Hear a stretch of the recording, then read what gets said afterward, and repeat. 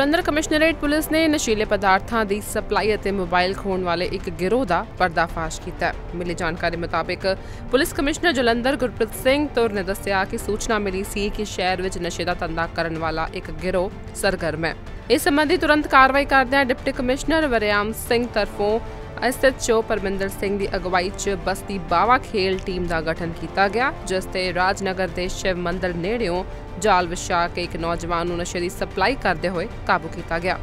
Police commissioner ਨੇ ਦੱਸਿਆ ਕਿ ਨਸ਼ੇ ਦੇ ਆਦੀ ਦੀ ਪਛਾਣ ਸੌਰਵ ਪੁੱਤਰ ਪ੍ਰਮੋਦ ਕੁਮਾਰ ਵਜੋਂ ਹੋਈ ਹੈ, ਜੋ ਲੰਬੇ ਸਮੇਂ ਤੋਂ ਇਸ ਵਾਰਦਾਤ ਨੂੰ ਅੰਜਾਮ ਦੇ ਰਿਹਾ ਸੀ। ਉਹਨਾਂ ਦੱਸਿਆ ਕਿ ਨਸ਼ਾ ਤਸਕਰ ਨੂੰ ਸਾਲ 2021 ਵਿੱਚ ਦੋ ਵਾਰ ਪੁਲਿਸ ਵੱਲੋਂ ਗ੍ਰਿਫਤਾਰ ਕੀਤਾ ਗਿਆ ਸੀ, ਜੋ ਜ਼ਮਾਨਤ ਤੇ ਸੀ। ਉਹਨਾਂ ਦੱਸਿਆ ਕਿ ਮੁਲਜ਼ਮ ਮੋਬਾਈਲ ਖੋਣ ਵਾਲਿਆਂ ਦੇ ਸੰਪਰਕ ਵਿੱਚ ਵੀ ਸੀ ਕਿਉਂਕਿ ਉਹ ਨਸ਼ੇ ਦਾ ਆਦੀ ਸੀ। ਮੁਲਜ਼ਮ ਲੋਕਾਂ ਤੋਂ ਮੋਬਾਈਲ ਖੋਣ ਵਾਲਿਆਂ ਨੂੰ ਨਸ਼ੀਲਾ ਪਦਾਰਥ ਦਿੰਦਾ ਸੀ। ਮੁਲਜ਼ਮਾਂ ਕੋਲੋਂ ਪੁਲਿਸ ਵੱਲੋਂ ਇੱਕ ਟੈਬ ਤੋਂ ਇਲਾਵਾ 27 ਮੋਬਾਈਲ ਵੀ ਬਰਾਮਦ ਕੀਤੇ ਗਏ ਹਨ। ਉਹਨਾਂ ਦੱਸਿਆ ਕਿ ਪੁਲਿਸ ਵੱਲੋਂ ਇਸ ਮਾਮਲੇ ਦੀ ਡੂੰਘਾਈ ਨਾਲ ਜਾਂਚ ਕੀਤੀ ਜਾ ਰਹੀ ਹੈ ਅਤੇ ਮੋਬਾਈਲ ਕਿੱਥੋਂ ਗੁੰਮ ਹੋਏ ਅਤੇ ਕਿੱਥੇ ਰੱਖੇ ਗਏ, ਇਸ ਦੀ ਵੀ ਜਾਂਚ ਪੜਤਾਲ ਹੋ ਰਹੀ ਹੈ। ਇਹ ਜੋ 25 ਤਰੀਕ ਨੂੰ ਥਾਣਾ ਬਸਤੀ ਬਾਵਾ ਖੇਲ ਦੇ ਵਿੱਚ subdivision west ACP Waryam ji ਦੀ ਜਿਹੜੀ ਸੁਪਰਵਿਜ਼ਨ ਚ ਐਸਐਚਓ ਨੇ ਬੜਾ ਅੱਛਾ ਕੰਮ ਕੀਤਾ, ਜਿਹਦੇ ਵਿੱਚ ਇਹਨੇ ਇੱਕ ਦੋਸ਼ੀ ਨੂੰ ਗ੍ਰਿਫਤਾਰ ਕੀਤਾ ਜਿਸ ਦੇ ਕੋਲੋਂ 27 ਜਿਹੜੇ ਆ ਮੋਬਾਈਲ ਸਨੈਚ ਕੀ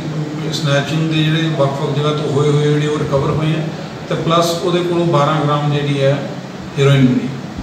ਜੋ ਇਹ ਖੁਦ ਐਡਿਕਟ ਹੈ, ਤੇ ਇਹਨੇ ਜਿਹੜੇ ਮੋਬਾਈਲ ਪੁੱਛਗਿੱਛ ਦੇ ਵਿੱਚ ਸਾਨੂੰ ਦੱਸਿਆ ਵੀ ਇਹ ਜਿਹੜੇ ਮੋਬਾਈਲ ਨੇ, ਜਿਹੜੇ ਲੋਕਾਂ ਨੇ ਅੱਡ-ਅੱਡ ਜਗ੍ਹਾ ਤੋਂ ਸਨੈਚ ਕਰਕੇ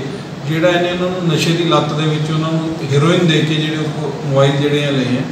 ਤੇ ਅਸੀਂ ਹੁਣ ਇਹਨੂੰ ਬੜੀ ਡੂੰਘਾਈ ਨਾਲ ਜਿਹੜਾ ਵੈਰੀਫਾਈ ਕਰ ਰਹੇ ਹਾਂ ਜਿਸ ਦੇ ਵਿੱਚ ਸਾਨੂੰ ਇਹ ਜਿਹੜੇ 27 ਜਿਹੜੀਆਂ ਘੱਟੋ ਘੱਟ ਸਾਡੀਆਂ ਜਿਹੜੀਆਂ ਸਨੈਚਿੰਗ ਦੀਆਂ ਵਾਰਦਾਤਾਂ,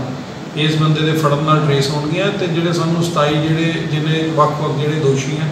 ਉਹਨਾਂ ਬਾਰੇ ਜਿਹੜਾ ਅਸੀਂ ਪਤਾ ਲਾ ਕੇ ਤੇ ਉਹਨਾਂ ਨੂੰ ਜਲਦ ਗ੍ਰਿਫਤਾਰ ਕਰਾਂਗੇ ਤੇ ਹੋਰ ਵੀ ਜਿਹੜੀਆਂ ਰਿਕਵਰੀ ਹੈ ਜਿਹੜੀ ਅਸੀਂ ਕਰ ਸਕਦੇ ਹਾਂ ਜਿਸ ਦੇ ਵਿੱਚ ਇਹਨੇ ਪ੍ਰੀਲਿਮਿਨਰੀ ਸਾਨੂੰ ਇਨਕੁਆਇਰੀ ਇਹ ਵੀ ਦੱਸਿਆ ਵੀ ਮੈਂ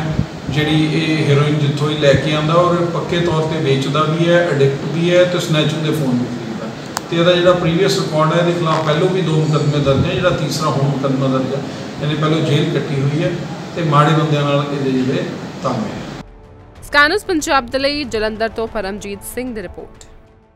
ਜੇ ਤੁਸੀਂ ਐਕਸਪ੍ਰੈਸ ਐਂਟਰੀ ਦੇ ਵਿੱਚ ਜਾਂ ਪੀਐਨਪੀ ਦੇ ਥਰੂ ਜਾਂ ਐਲਐਮਆਈਏ ਦੇ ਥਰੂ ਜਾਂ ਜੌਬ ਆਫਰ ਦੇ ਥਰੂ ਜਾ ਕੇ ਪੱਕੇ ਤੌਰ ਤੇ ਸੈਟਲ ਹੋਣਾ ਚਾਹੁੰਦੇ ਹੋ ਜਾਂ ਤੁਸੀਂ ਸਟੂਡੈਂਟ ਵੀਜ਼ਾ ਤੇ ਕੈਨੇਡਾ ਜਾਂ ਆਸਟ੍ਰੇਲੀਆ ਸਕਾਲਰਸ਼ਿਪ ਦੇ ਨਾਲ ਘੱਟ ਫੀਸ ਤੇ